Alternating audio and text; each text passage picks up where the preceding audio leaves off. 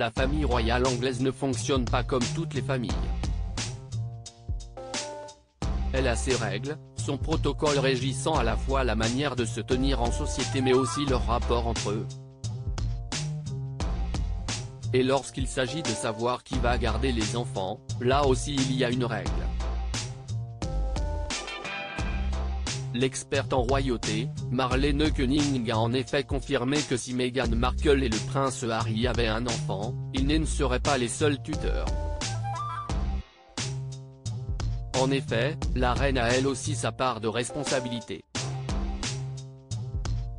Le souverain a un droit de garde sur les enfants mineurs de la famille.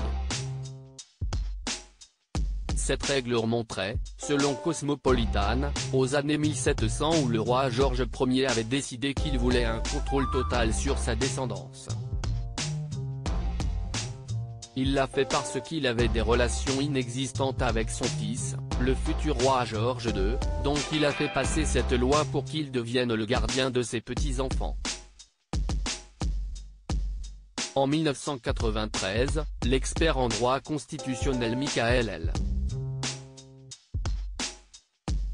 Nash a confirmé cette règle en expliquant que la reine a le dernier mot en matière de garde, d'éducation et même en matière de droit de résidence d'un prince.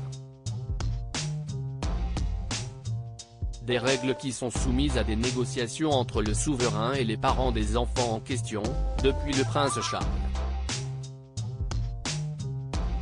La reine lui a en effet laissé toute la place dans la prise de décision au sujet des princes William et Harry.